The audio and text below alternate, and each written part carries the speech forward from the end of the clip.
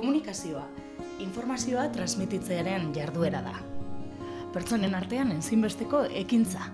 Pertsona izateko eta gizartean bizial izateko ezinbestekoa. Teknologia berriak gustuko ditugun aro honetan, nola komunikatzen gara? Mezu laburrak, jarioa, edukiak partekatu, Etorkizun oparea izango dute sare sozialek, deustuko gazte lokalera goaz, zirikatzen ekimenak antolatutako hitzaldira.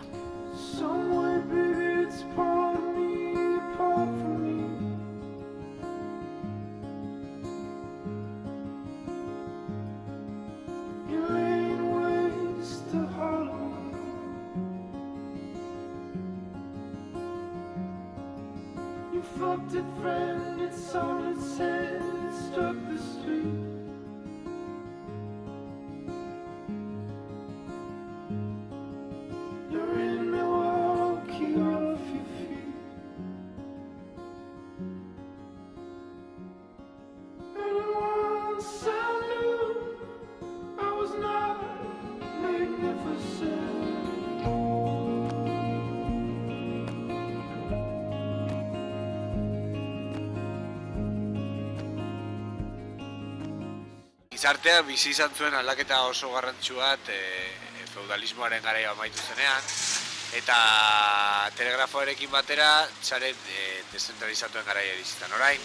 Pasatzen ari gara eta nahiko argi ikusten da ba hori bitartekari batzuek sobran daudela iruditzen zaigu agertzen dira fenomeno sozial berriak eta e, talde antolatuak egiteko forma ezberdinak e, hor ikusten dira ba, sareak antolatutako mo- mobilizazio globalak ere. Orduan badirudi zerbait bagoa zela beste gizarte eredu batera, nun behar bada pertsonen arteko edo talen arteko, baina zuzeneko harremanak e, sendoagok izango diren, eta bitartekaritza hori e, horietako batzuk behintzat e, beharrezkoak ez direna desagertzera doaz. Hau da, bitartekaritzak existitzen existituko dira, baina balioa erantzten badiote erlazioari. Eta jendeak onartzen baditu bitartekari zilegi bezala, ez e, hor daudel e, egon behar dutelako, hau da filtro egiteko edo kontrolatzeko, baizik eta nola egiteko beste goera batera goaz, beste gizarte eredu batera goaz, eta behar bada hor e, landu behar dena ere gizataldeen antolaketa eredu ezberdinak. Eta hori lantzeko dago dena, eske internetek ematen digu gizartearen e, egitura izan daitezkenak pixka bat aurrerago. Virtualki beti errezagoa da, ez dago oztopo fisikoa, baina oraindik ikusteko da.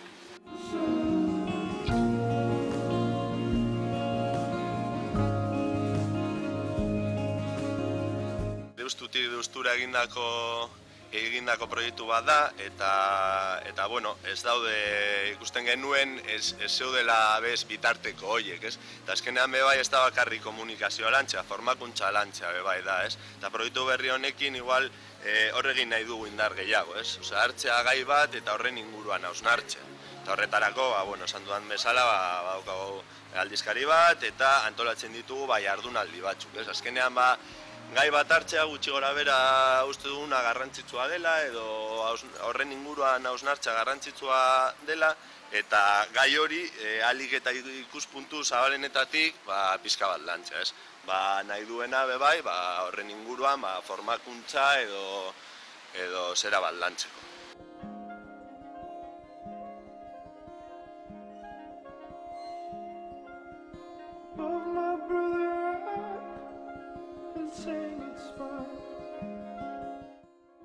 Konstiente konstiente gara eta erabiltzen ditugu, eh, batzueko beto eta beste batzueko okerrago.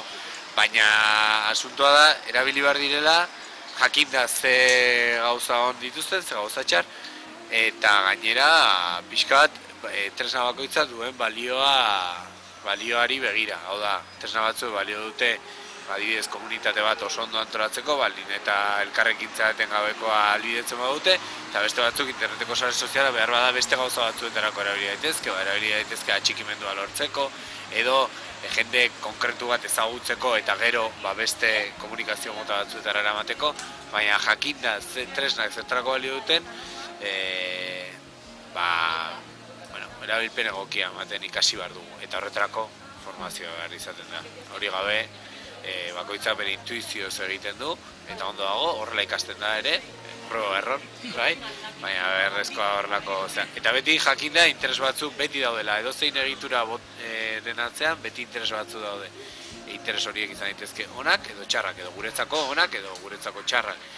Eta bakoitzak ere horiek neurtu behar ditu.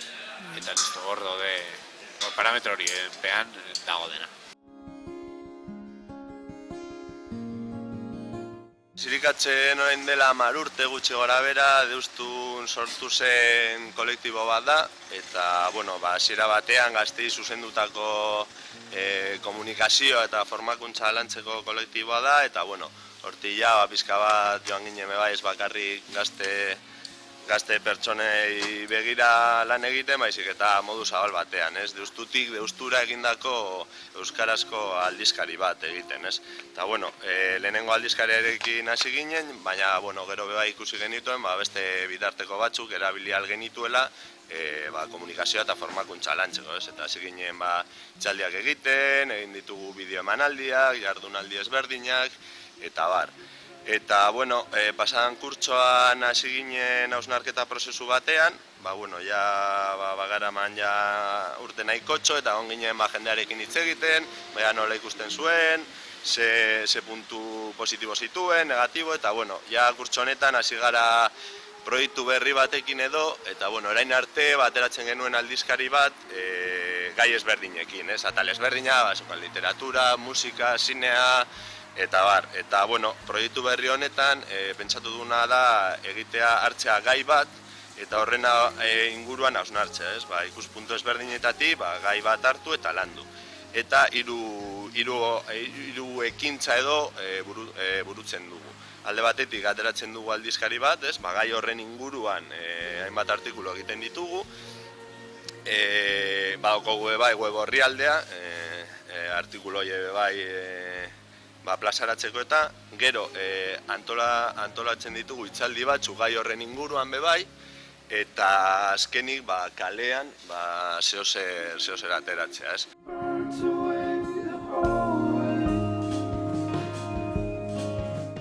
Ikusi genuen, ba, bueno, basare sozialak, ba, izan zitekela gai interesgarri bat, ez? Gurekin erlazionatuta daude bebai, ez? Komunikazioa, eta eta bueno, e, gai hori hartu dugu sare sozialak eta komunikazioa eta horren inguruan, ba bueno, inditugu artikulu ezberdinak, eh ikuspuntu ezberdinetatik aztertuta eta atera dugu aldizkari bat. Eta horretaz aparte, e, antolatu ditugu jardunaldi batzuk, ez? Eingo ditugu azaroan zehar, ditugu diogu azaro soziala, ez? Itz joko hor, sozialak eta azaro soziala. E, eta antolatu ditugu e, lau itzaldi edo. Urrengo aste artean, hogeian, e, txipik emango du itzaldi bat ziber kontrolaren eh, inguruan, segurtasuna, ba, gure komunikabideak nola zelatatzen diren, eta ze punturaino, eta bar, eta bar, e, txipi da deustuko unibertsitateko irakasle bat, eta, bueno, ba, aditua da gai horietan, eta ona hor bilduko da, eta ja, azkena, laugarrena, e, hogeta zazpian izango da ja tailer bat, ez guk antolatutako tailer bat e, momentu horreta arte ikusi dugun guztia eta entzun dugun guztiarekin, ba, pizka baia gure artean, ez, pizka bat hausnartzea ze erabilpen egiten dugun gu. Osea, ze, ze onura daukaten eta ze alde txarra daukaten e, sare sozialek.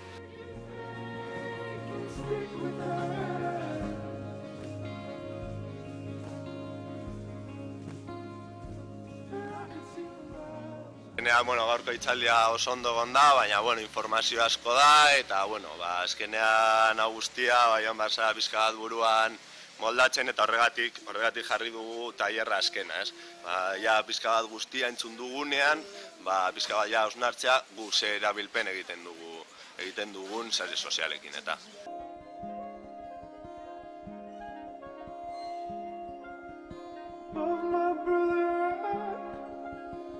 Ikerketak interneteko sare sozialak erabiltzen dituzten pertsona normalean sozialagoak ere badira gizartean. Nik hori bai, ez dut ikusten gizarte virtual eta fisikoaren arteko inungo alderikia. Ez dago, ez dago. E, hau da, e, gizartean daukazun eragina, dauka, oza, aldeantziz, e, interneten dituzun harremanak ere askotan eramaten dira mundu fisikora, esan, esan dezakegu, eta aldeantziz. Orduan, ez dira bi plano ezberdin du, hori da esan nahi dudana. Da, el plano bakarra da, batzuetan komunikatzen zara batean eta bestean. Orduan, horregatik, arrazoi horregatik, interneten sare sozialetan ondo eta komunikatzen abila dena eta egoten dena, normalean ere, bero lagun gehiago ditu, harreman gehiago eta sozialki ere jende gehiago ezagutzen du. Hori topiko bat dela esan daiteke.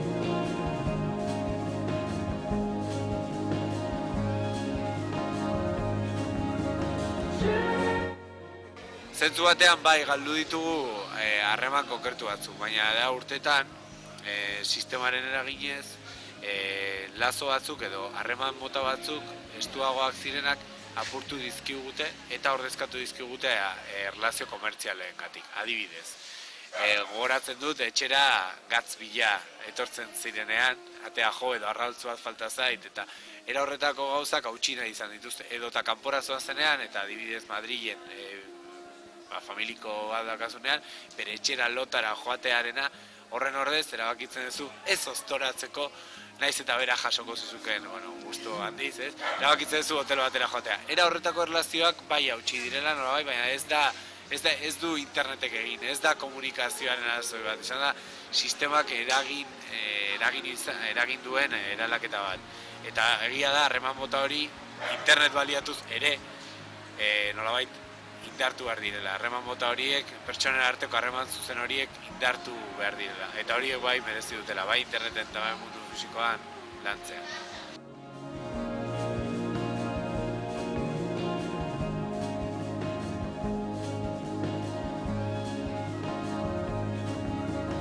Yeah!